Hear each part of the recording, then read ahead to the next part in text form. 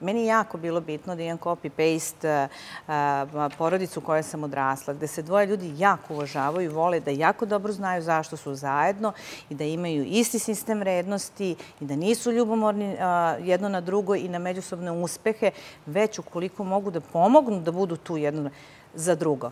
I ja sam to ostvarila. Ja sam našla čoveka, hvala Bogu, hvala tati, mom, mom ovaj, sudbini, osobu s istim životnim vrednostima iz istog porodičnog miljeja, socijalnog miljeja, osobu koji je gradio na sličan način svoju karijeru u slično vreme ili u isto vreme kad i ja znamo prednosti i manje tog vremena.